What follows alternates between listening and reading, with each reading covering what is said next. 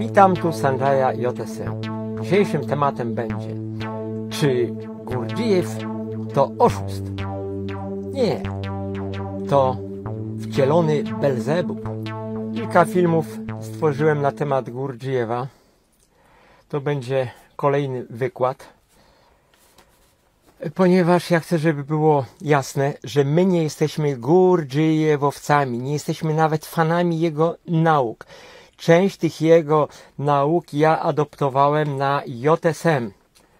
Gurdjieff przekazał część bardzo takiej wartościowej wiedzy obiektywnej, tylko u niego, odnośnie tych centrów i dużo takiej wiedzy zupełnie niepotrzebnej. Ja tu bym powiedział tak.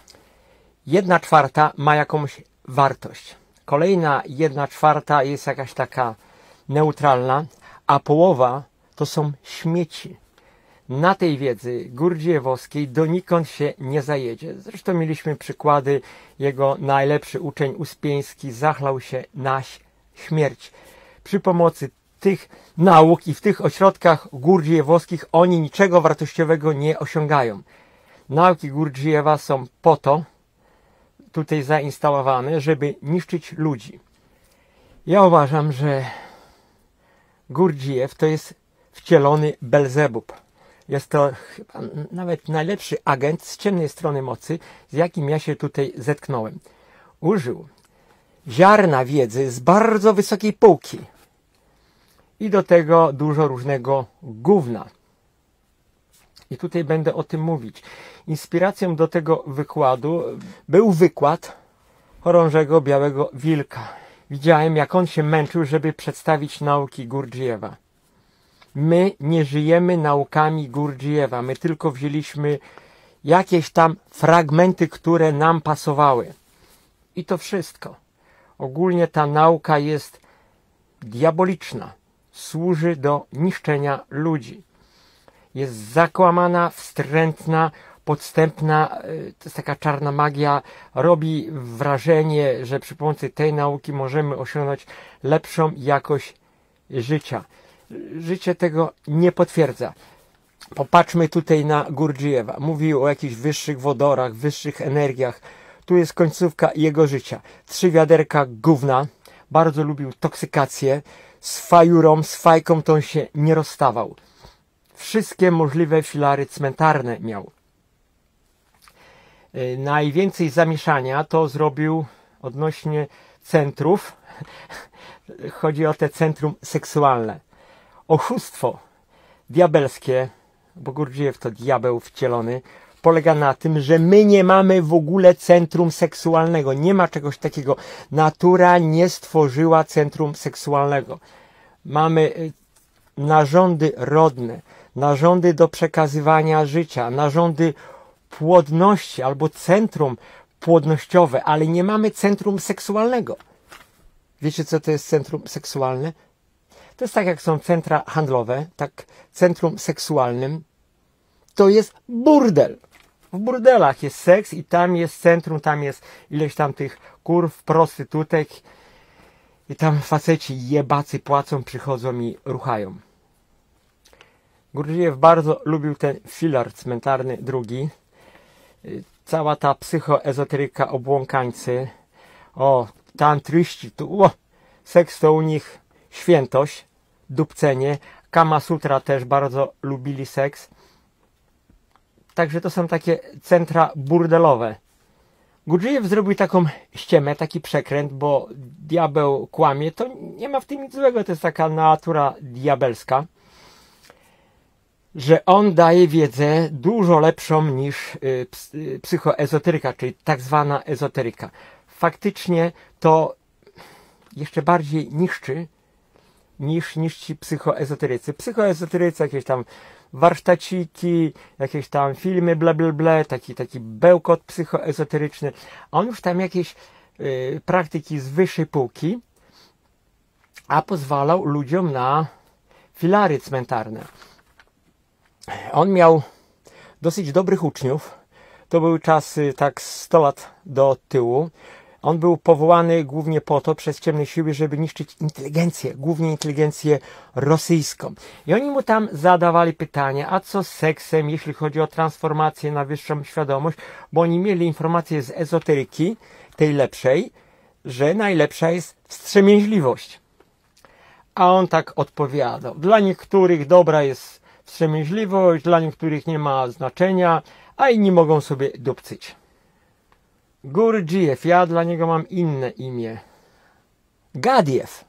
Gad Jew, a nie jakiś gór, że coś wysokiego. Guri, G to jest takie imię hinduskie. On napisał książkę, czytałem ją. Rozmowy Belzebuba do wnuka. Gruba książka.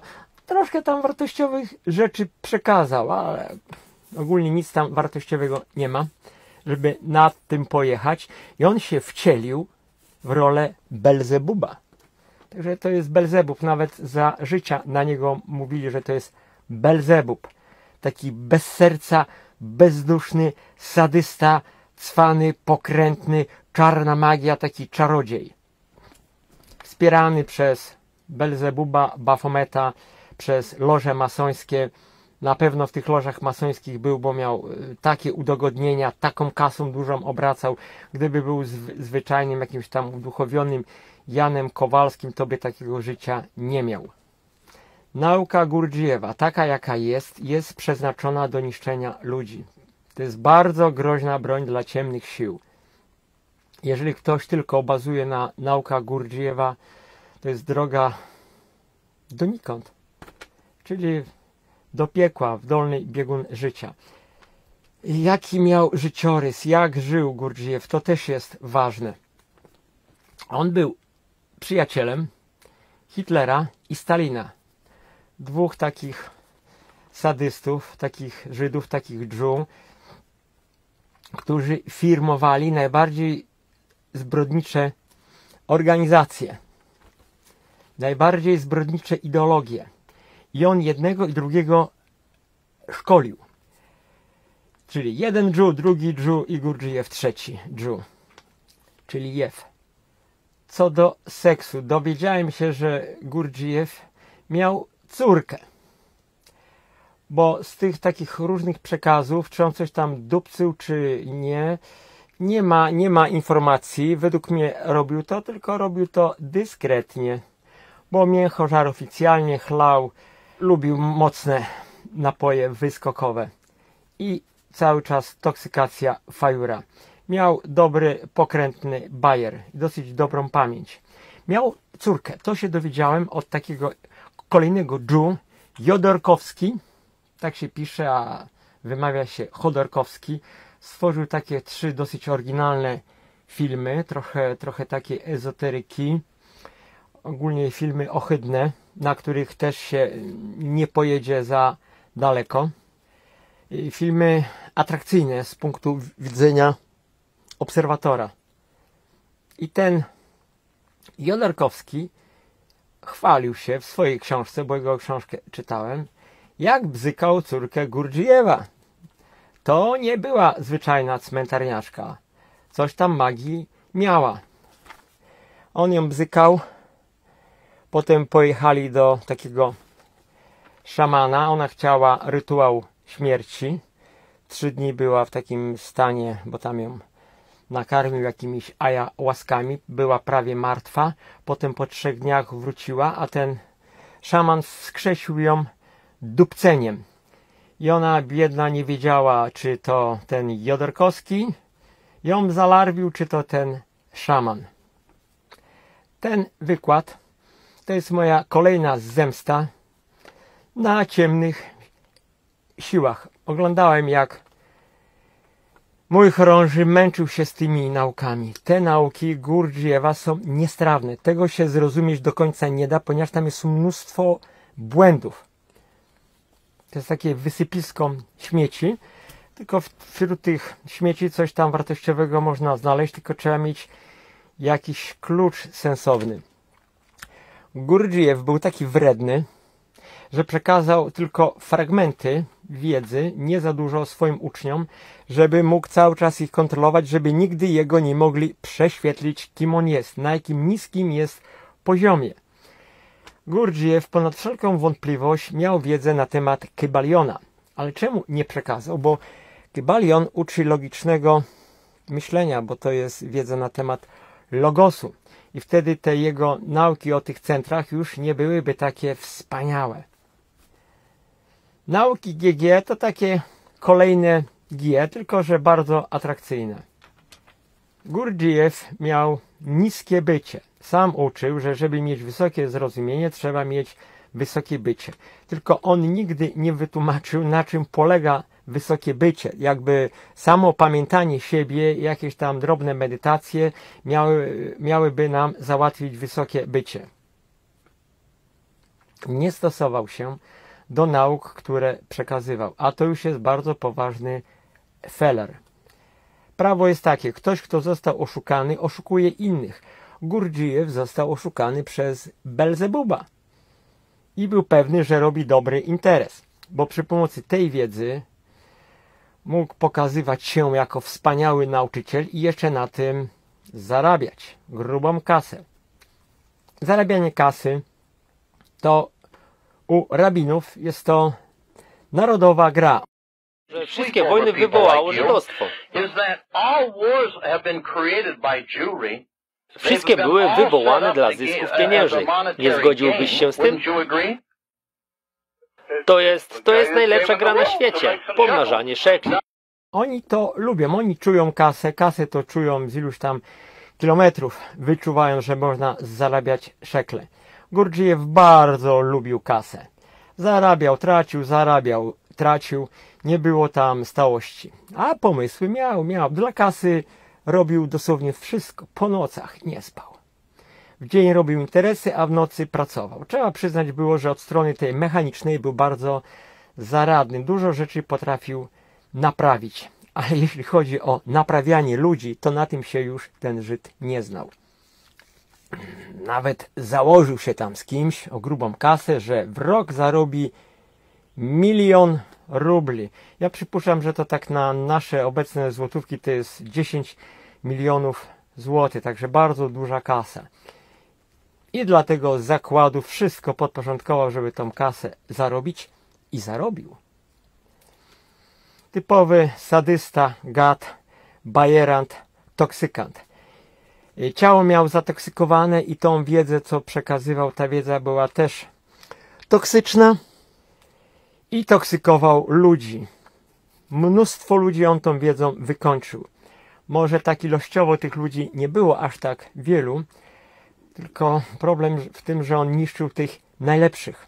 Ludzi, którzy zrażeni byli do religii, zrażeni do tej psychoezoteryki i u niego szukali ratunku, pomocy. A on im dał inny rodzaj trutki. Liczą się całości. Jakieś tam drobne błędy w jakimś systemie mogą być. Tak jak samochód może mieć jakieś drobne usterki, można nim pojechać, a jeżeli są duże usterki, to się donikąd nie zajedzie.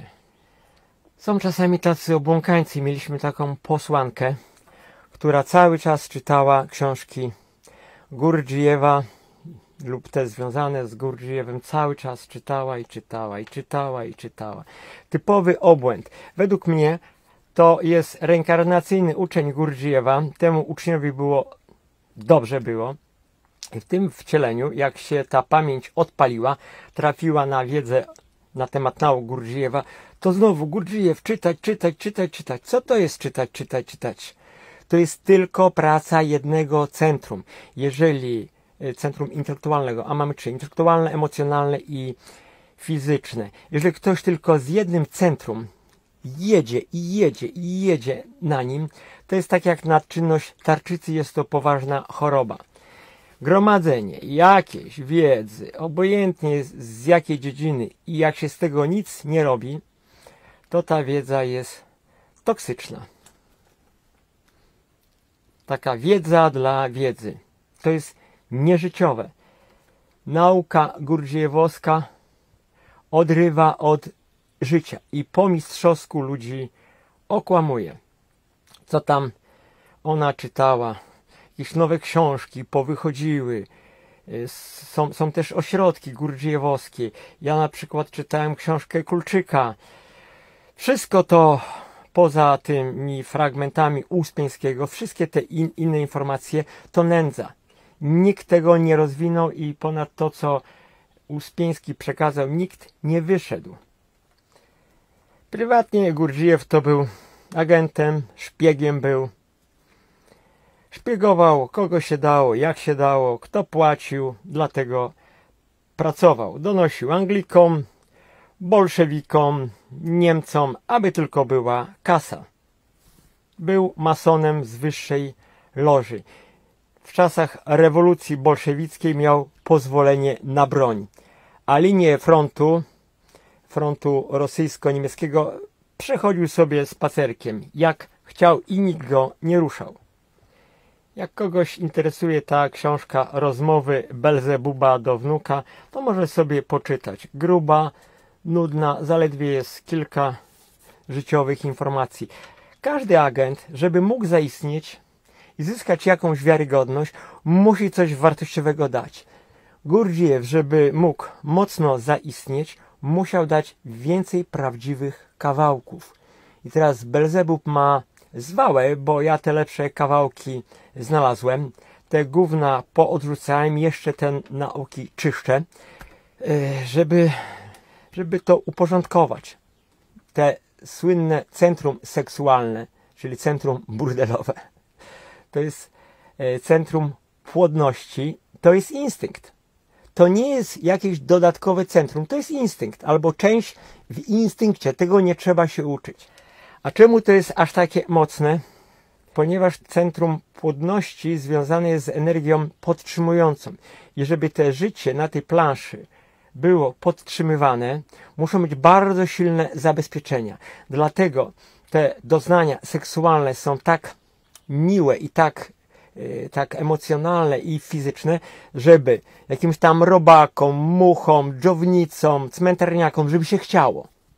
Tylko cmentarniaki są poniżej zwierząt, ponieważ robaki, jakieś tam dżownice, ślimaki używają centrum płodności po to, żeby tą energię życiową podtrzymać.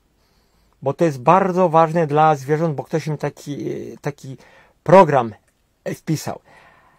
A że ludzie mają możliwość, ale małą, wyboru, to wybrali sobie zabawę narządami rodnymi, żeby mieć tą przyjemność, mieć te orgazmy, a nie mieć konsekwencji. Narządy rodne mają to do siebie, Gurdjieff tego pff, nigdy by nie powiedział. Zgodnie z prawem trzech, jeżeli są używane, to mogą do trzech rzeczy być użyte.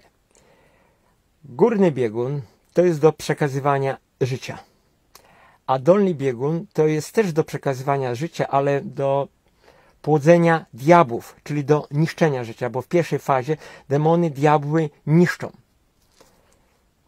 Ta psychoezoteryka to też mówią energia seksualna, energia wężowa, bo to jest energia gadzia, to jest niska energia. Seks i wszystko, co jest z tym związane, jest to rozregulowane centrum instynktowe to jest zły instynkt. W świecie zwierząt, powtarzałem i powtórzę jeszcze raz, tylko zdrowy samiec, zdrowa samica, odpowiedni czas, gody, przekazanie materiału genetycznego i koniec. A tu się jebią na okrętkę jeszcze, mówią, że to jakaś duchowość, e, że jakaś energia kundalini. Energia kundalini to jest energia snu. To jest otwieranie czakr, niszczenie, niszczenie naszych czakr.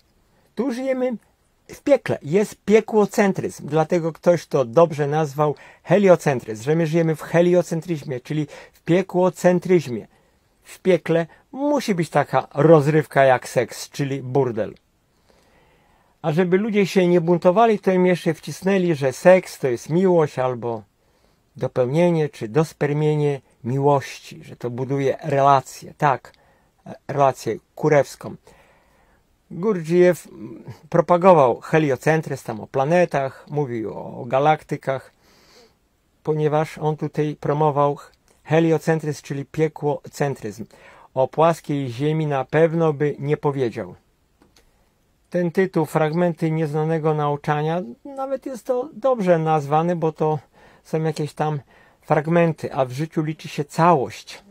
Z roku na rok widzę coraz więcej nieprawidłowości w tych naukach.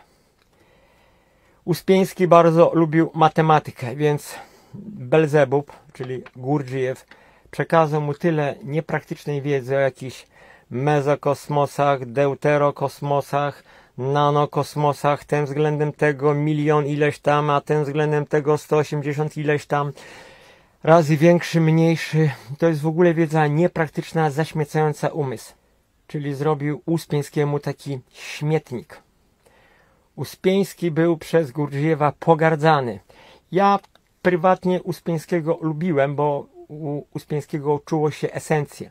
Esencję, kulturę, yy, takie uczciwe dążenie do prawdy. Miał pecha, trafił na Belzebuba. Tu prawa życia porobiły takie zabezpieczenia, pułapy. Żeby wejść na wyższy pułap, trzeba przejść przez różne pułapki. Żeby móc zbudować życie, trzeba mieć zrozumienie, a zrozumienie to jest wypadkowa. Jakaś synergia wiedzy i bycia. Bardziej bycia i wiedzy w takiej kolejności bym to powiedział, bo bycie jest związane bezpośrednio z naszym charakterem. Sama wiedza niczego nie załatwi. Najważniejsze jest, żebyśmy mieli dobry charakter. Bo dobry charakter świadczy o tym, że mamy, że mamy duszę. Kto ma filary cmentarne, to ma bardzo niskie bycie, a jak ma niskie bycie, nigdy nie może dostać wyższej wiedzy, a tym bardziej nie będzie mieć wyższego zrozumienia. Więc Gurdziejew nie mógł mieć większego zrozumienia życia. On miał wiedzę mechaniczną i to jeszcze bardzo niekompletną. Gurdziejew od samego Belzebuba i od tych różnych masonów miał bardzo duże ułatwienia. Obracał ogromną kasą. Milionami obracał. Miał tysiące uczniów. Dlaczego? Bo był reprezentantem ciemnej strony mocy. To był taki top agent. Tam uczniowie pytali go o tą transformację, transmutację świadomości i oni już wiedzieli, że przez seks się traci dużo energii. Gurdjieff mówił, że to nie ma znaczenia. Dla kogoś ma, dla innego nie ma. Y, to nie chodzi tylko o to, że poprzez seks tracimy energię, bo to jeszcze nie byłby taki problem. Bo tam byśmy pospali, pojedli, trochę odpoczęli i i te akumulatory życia znowu by się naładowały. Tylko o tym Gurdjieff nie mówił, nie wiedział, nie chciał i wiedzieć. Poprzez seks nabywa się demonów. Jeżeli taki młody, czysty chłopiec ruchnie sobie taką zaawansowaną kurwę, to ma przejebane do końca życia. Tyle demonów na siebie nabierze. I potem z tego się jest bardzo trudno oczyścić. Jedno dupcenie wystarczy. Masturbacja nie jest tak szkodliwa. Masturbacja to jest tylko niszczenie energii. Oczywiście nie polecam tego. Kto drażni narządy rodne, ten potem chodzi taki rozdrażniony. Jeżeli jest za dużo wiedzy teoretycznej, to to są śmieci. Jeżeli ktoś za dużo je, to ma wielki wydęty brzuch i tam ma śmietnik. Ja nawet od zwyczajnych cmentarniaków słyszałem, że brzuch to śmietnik, bo oni tak wrzucają jak do śmietnika. Wystarczy zobaczyć, jak wyglądał GG pod koniec życia. Jaki miał wielki śmietnik. Prawo zgodności. Śmietnik w głowie i śmietnik w brzuchu.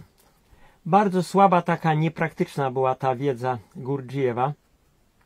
Jego uczniowie mieli poważne problemy w rozmawianiu ze zwykłymi ludźmi i w przekonaniu ich, że w tej wiedzy jest coś wartościowego, że warto się tą wiedzą zajmować. Zadawali takie pytania: A co ty z tego masz?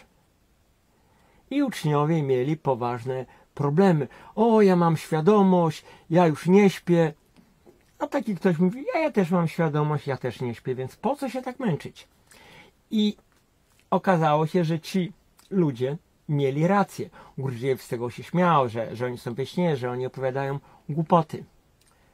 O Żydach, masonach nic Gurdziew nie mówił, bo sam był od nich. I miał taki bajer z tym księżycem, bo każdy musi mieć jakiegoś diabła. Makrobiotyka ma diabła, rośliny te psiankowe, mleko, chwali za to ziarna, a Gurdzijew jako głównego diabła miał księżyc. Według prawa trzech to powinno być tak. Słońce to jest ta główna męska energia kreatywna.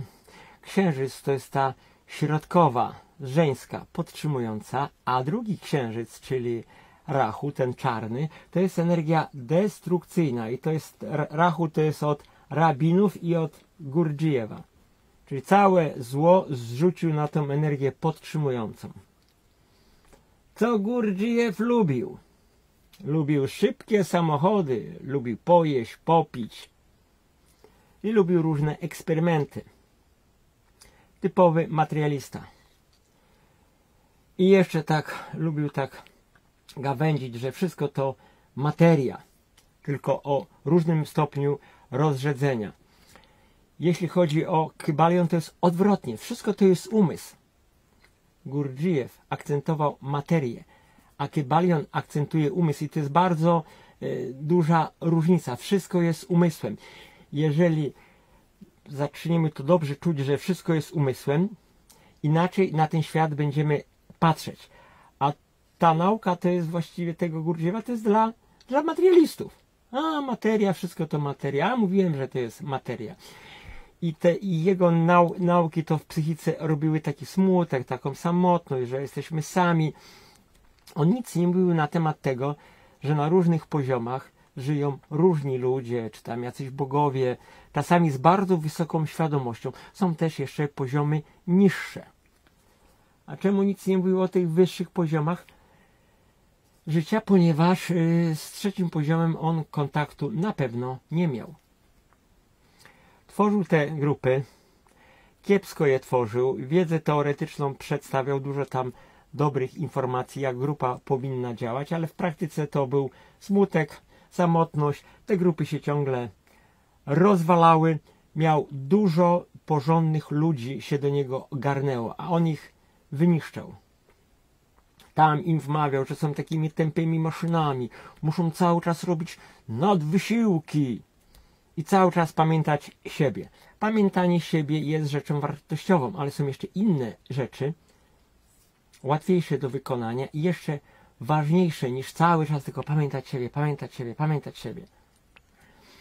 My w JSM mamy kult pracy i kult przyjaźni.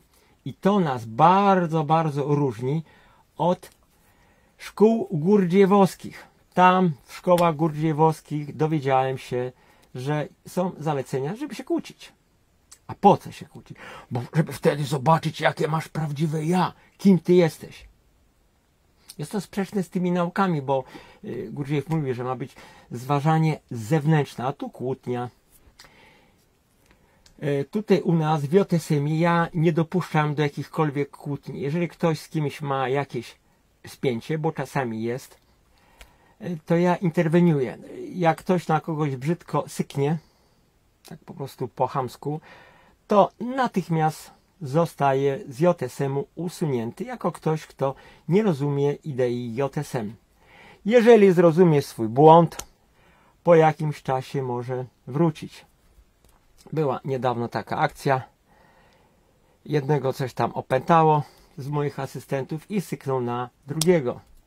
W bardzo krótkim czasie musiał się spakować i raniutko o godzinie 8 opuścić centralę jeżeli ktoś ma zaproszenie do centrali, a tu się nas nie słucha i robi samowolki, też bardzo szybko jest usuwany, bo od takich samowolek to może być poważna tragedia. Tu już mieliśmy kilka bardzo groźnych sytuacji. Sztuka słuchania się jest rzeczą trudną. Jeżeli ktoś ma zbyt dużo demonów w sobie, zbyt dużo diabłów, a za mało duszy, to się tutaj do JSM-u nie nadaje. My tu się zajmujemy tymi, którzy już choć troszkę są wybudzeni, już tro, choć troszkę mają samoświadomości. Gurdjieff potrafił zlikwidować grupy, które sam stworzył i nie podał żadnej sensownej przyczyny. Powiedział, likwiduję was. W pierwszej fazie uczniowie myśleli, że to jest próba. Ale potem on mówi, koniec, idźcie sobie do domu, nie zajmuję się już wami. Gurdjieff tyle mówił o esencji. Esencji nie miał, on się składał z demonów. Ja, jak czytałem fragmenty, nigdy do Gurdjieffa nie miałem sympatii. To było 20 lat temu, jeszcze nawet nie wiedziałem, dlaczego ja mam jakiś taki obojętność, a nawet wstręt do niego, ponieważ on reprezentował ciemne siły. Natomiast miałem zawsze sympatię do Uspieńskiego, który był bardzo kulturalny i bardzo esencjonalny. Tylko miał pecha, bo trafił na Belzebuba. Najważniejsza jest nauka przykładem, a Gurdjieff nie stosował się do nauk, które przekazywał. Taki mówił o tym zważaniu zewnętrznym, jak to trzeba uważać na ten zewnętrzny świat, a raz Uspieński przyuważył go jak z sąsiadem, bo tam mieli taki ogródek, straszliwie się kłócił i to mu tak zryło psychikę. Gurdjieff na dłuższy czas nigdy nie był w jednym miejscu. Ciągle gdzieś go nosiło, bo robił interesy.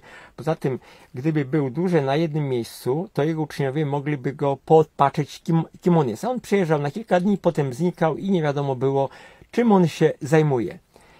Ja natomiast tutaj siedzę na tym ogródeczku, na tym ogrodzie, to jest, to jest ogród, i nie lubię się stąd ruszać. Nawet jeżeli chodzi o Nysę, bardzo rzadko tam bywam, w tej chwili to już raz na kilka miesięcy. Hinduscy guru znani są z tego, że latają po całym świecie, bardzo lubią też wycieczki egzotyczne. Bo to są materialiści. Czemu Gurdjieff tak podróżował? Bo robił różne biznesy i przy okazji szpiegował. Był dobrym wywiadowcą. Gurdjieff to był konkretny czarodziej. Zdolności paranormalne miał.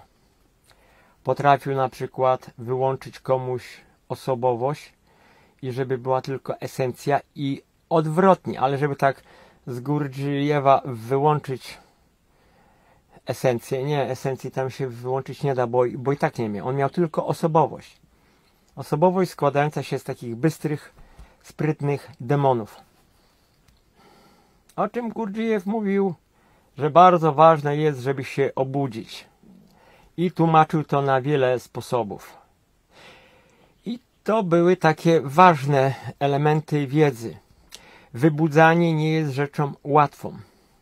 Jest to proces stopniowy, często wstrząsowy. Oszustwo jego polega na tym, że dał jakąś taką suchą wiedzę teoretyczną, ale nie powiedział, że religia i te filary cmentarne, że to podtrzymuje sen, że to robi niewolę. Tego nie. Tak jakby nie, nie było tematów. A z Jezusa też się zrobił nad człowieka. Mówił, że to jest człowiek numer 8, czyli poza skalą taką tutaj naszą. Filary cmentarne trzymają tutaj ludzi najbardziej w niewoli, najbardziej tworzą sen. I to jest wiedza bardzo praktyczna, bo jeżeli ktoś uwolni się od filarów cmentarnych, to wtedy czuje, że ma lepszą jakość życia. Jeżeli ktoś się na tyle mocno wybudzi, zwłaszcza z tego drugiego filara, który tu jest najbardziej atrakcyjny, to dla niego seks jest czymś wstrętnym i obrzydliwym i widzi czarownicę. Nie widzi żadnej miłości, tylko widzi, że czarownice polują na frajera. W grupach gurdjiewowskich w ogóle nie było akcentu, żeby oni się przyjaźnili. Teraz tak, budować grupę, gdzie nie ma przyjaźni, gdzie nie ma szacunku, to jest bardzo słaba grupa. Dlatego ja pilnuję, żeby te relacje były miłe, serdeczne, bo jak jest taka miła atmosfera, to łatwo pokonuje się różne trudności. Praca jest mm, takim zadowoleniem, a nie karą. Gurdjieff mówił o nadwysiłkach. y, kazał swoim uczniom wykonywać bezproduktywną robotę, jakieś tam kamienie przenosić z jednego miejsca w drugie, kopać doły, zakopywać. To jest takie typowo diabelskie. My tutaj ćwiczymy sobie świadomość na pracy produktywnej. Sadzimy rośliny, y, robimy jakieś prace budowlane. Również biegamy, ćwiczymy nasze ciało fizyczne. Gady są bardzo sprytne. Dają ludziom taką iluzję, że im pomagają. Faktycznie gady zawsze niszczą, bo mają taką gadzią naturę i jeszcze na tym zarabiają i to dużo zarabiają. Bo oni są od rachu, od tego czarnego księżyca, to jest ta czarna dziura. Dlatego rachunki, rabini, karabini i rabowanie. Słynna czwarta droga Gurdziewa, niby że on stworzył czwartą drogę. Przypomnę, pierwsza droga fakira to jest taka mechaniczna, druga droga mnicha to jest taka droga emocjami, miłość. Trzecia droga to jest droga jogina poprzez wiedzę. To jest tylko, to są takie trzy centra. Żeby była jakakolwiek droga, to ciało mechaniczne, ciało emocjonalne, ciało intelektualne musi być dobrze rozwinięte. Nie, że tam zharmonizowane, tylko wszystkie muszą być dobrze rozwinięte. Wtedy to dopiero daje możliwość osiągnięcia czwartego ciała i wtedy nasza świadomość i możliwości bardzo się zwiększają. Droga fakira, mnicha czy jogina to jest żadna droga, to jest tylko praca nad jednym centrum. Jeżeli za dużo tej pracy jest, robi się katastrofa. To jest tak jak nadczynność tarczycy. Ja tu pilnuję, żeby u moich uczniów wszystkie te podstawowe trzy centra, żeby się ładnie, harmonijnie rozwijały. Y, ta idea przyjaźni i miłych relacji to jest właśnie po to, żeby rozwinąć ładnie centrum emocjonalne. Moi asystenci, moi posłańcy mają się lubić. Y, fakir, czyli to jest ciało fizyczne, mają ćwiczyć ciała, oczyszczać, trenować. A te filmy, wykłady, rozmowy to są po to, żeby rozwijać centrum intelektualne. I to dopiero raz, dwa, trzy to tworzy pewną całość. Droga tak naprawdę jest tylko jedna. Przez harmonijne, ładne rozwinięcie tego, co mamy rozwinąć. Droga jest przez zrozumienie, przez bycie, przez wiedzę, przez świadomość. Żeby dobrze rozwinąć centrum emocjonalne, musi być dobra, przyjazna grupa, inaczej te centrum się nie rozwinie. Jestem wieloletnim ogrodnikiem i żeby cokolwiek urosło, potrzebuję troski, opieki, ciepła, wody, odpowiedniej ziemi, a nie tylko oglądanie tam tysięcznego filmu, to co ta psychoezoteryka robi, żeby to jeszcze tam jakaś wiedza była, to są śmieci. My podobnie tak jak rośliny, nasza dusza ma rosnąć. Musi mieć odpowiednie warunki, a warunkami dla wzrostu to jest dobra grupa. W pojedynkę nikt nie urośnie. Żeby była dobra grupa, dobry organizm, to musi być tak idea, nauczyciel i te komórki, które tworzą ten organizm. Żeby ten organizm był zdrowy, to ta idea to jest ten klej.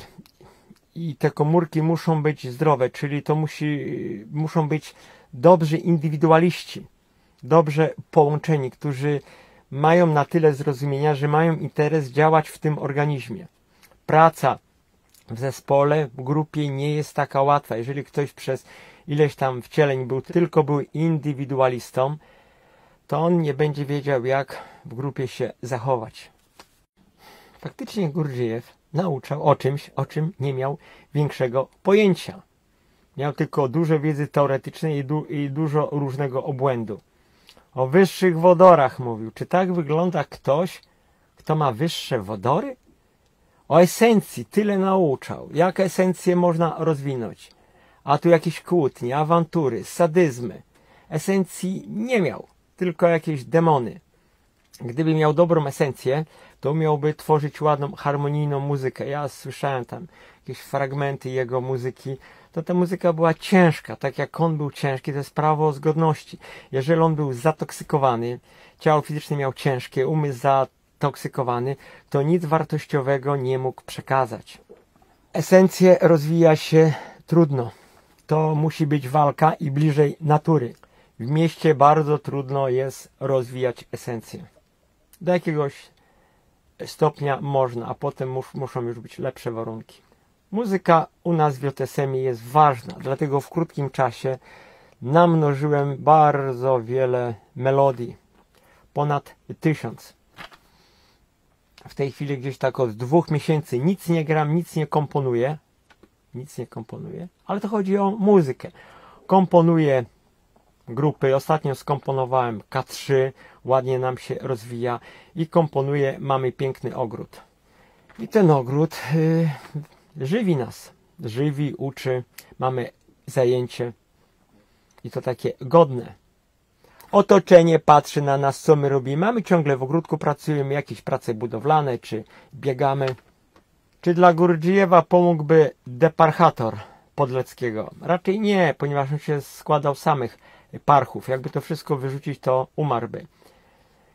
Poza tym deparchator został niedawno stworzony wtedy, wtedy jeszcze jak Gurdziejew był deparchatora nie było. Ale czemu o tym mówię? Ponieważ są uczniowie, tacy, którzy wierzą w Gurdziejewa, wierzą, że te nauki im coś dadzą, czytają te książki, czytają te książki i tylko robią sobie coraz większą kaszanę w swoim umyśle i w swoim życiu. I dla takich uczniów Gurdziejewa, tych współczesnych, deparchator by się przydał ponieważ Gurdjieff te diabelskie nasiona im tam wsiał. Demony tak samo się sieją jak chwasty. A nauki Gurdziewa to są nauki demoniczne. Kolejna informacja odnośnie seksu. Każda przyjemność, każda usługa, cokolwiek bierzemy z życia, mamy obowiązek zapracować na to, zrównoważyć to. I teraz odnośnie tego seksu. Tam większość y, z tych, co była uczniami Gurdziewa, mieli jakieś żony. Jak mieli żony, to je tam dupcyli. I Gurdziew im nic na ten temat nie mówił, że oni się degradują i że te kobiety degradują. Za każdą przyjemność. A przyjemności seksualne to jest bardzo silna emocja, to jest duża energia. I za to potem trzeba y, mocno zapłacić, bo, bo to się robi debet. Jeśli chodzi o zwierzęta, to nie jest seks, to są gody. I ze zwierzętami sprawa jest bardzo prosta. Pierw zwierzęta samce rywalizują, czyli walczą, robią wysiłki. Potem jest ta przyjemność przekazania materiału genetycznego, a potem samica ponosi trudy chodzenia w ciąży i opieki nad potomstwem. Także tam to się z automatu wszystko równoważy. A cmentarniaki tylko by się chcieli dupcyć, mieć przyjemność, przyjemność, przyjemność i nic nie robić cmentarniaki są tak walnięci, znaczy, bo tak, tak zostali okłamani przez ten system, że oni tylko robią po to, żeby potem nic nie robić. Dlatego idea jakiegoś nieba to religie im, takie, im taką zajawkę dały, że w niebie na wieki się jest i się nic nie robi i jest fajnie. Nie ma takiego miejsca. Tam też istnieje coś takiego jak prawo równowagi. Trzeba pracować, walczyć uczyć się. Ci, co nie podtrzymują życia, nie zasługują na to, żeby żyć. My, ludzie, jesteśmy podobni, bo to jest prawo zgodności, tak jak nasiona takie roślin. Jeżeli nasiono wpadnie do ziemi, a jest niepłodne, to gnije. Jeżeli my jesteśmy niepłodni, gnijemy. My mamy być płodni. I ta płodność może być na takim niższym poziomie, to jest płodzenie dzieci, tylko w tej chwili rzadko się dzieci płodzi, to są jakieś bachory schorowane i możemy płodzić wyższą jakość życia, ale do tego konieczna jest szkoła duchowości. W pojedynkę tego nikt nie osiągnie, ani też czytając książki jedną za drugą. Jeśli chodzi o tych masonów i o tych, e, odnośnie tych rabinów, co, co czarne słońce, kult czarnego słońca to jest kult Rachu, bo to jest ciemna strona mocy. To oni za to, że tu sieją destrukcję, prawo równowagi, ich da na kompost kosmiczny. Na razie mają fajnie, bo się tutaj bujają, sobie robią wojnę za, za wojną, jakieś pandemie ogłaszają, okradają ludzi z owoców ich pracy, ale nie, nie wiedzą, że, że tu jest prawo równowagi. Że oni nie podtrzymują życia, tylko niszczą. Dalej, Gurdziew udawał takiego wszechwiedzącego. On, on mówił, czym jest prawdziwa sztuka, czym nie jest. Część rzeczy, co mówił, to, to oczywiście tam dużo było prawdy. Stworzył taki balet magów. Kawałeczek tego widziałem wariatkowo. Jakieś nieharmonijne ruchy. I ten, y, ten, ten balet to był związany z heliocentryzmem, bo ci, którzy tam brali udział, oni mieli poczuć to, co te planety czują, jak się kręcą. To też jest sztuka okłamywać ludzi i jeszcze na tym robić kasę. Kiedyś Gurdjieff powiedział, że wiedzę to nawet należy ukraść. A gdzie prawo równowagi? Jeżeli ktoś ukradnie, a nie zrównoważy tego swoją pracą, to dostaje za to w łeb, bo to jest debet. I to się tyczy tych wszystkich apaczy, którzy regularnie oglądają JSM i nic nie robią. Po jakimś czasie ta wiedza stanie się dla was wrogiem. Zacznie was truć. To tak jakbyście jedli i nie trawili. Brzuch jest coraz większy i są niestrawności. Ja po to tą wiedzę przekazuję, żebyście mogli działać, bo życie to ruch, to działanie. Wiedzę ukraść. Kradnie jest złodziej, za, za to są kary. Narządy rodne to nie jest centrum seksualne, to są narządy rodne od płodności. Teraz zgodnie z prawem trzech możemy płodzić, kreować wyższą świadomość, wyższe życie. Możemy płodzić energię podtrzymującą, to jest płodzenie zdrowych dzieci i możemy płodzić, jeżeli ktoś używa narządów rodnych do seksu, to jest właśnie seks. To jest yy, energia męska, żeńska i nijaka. Nijaka to jest właśnie płodzenie demonów, tylko energia nijaka w dolnym biegunie ma demony, a w górnym to jest właśnie takie dziecko, które, które może rosnąć, wzrastać. Gurdjieff w ogóle pojęcia nie miał, jak dbać o ciało fizyczne. Znał kilka sztuczek czarodziejskich i na tym jechał. Umiał się podłączyć pod e, duży akumulator i, i tam kilka nocy nie spać i działać pod koniec życia, zobaczy jak on nędznie wygląda.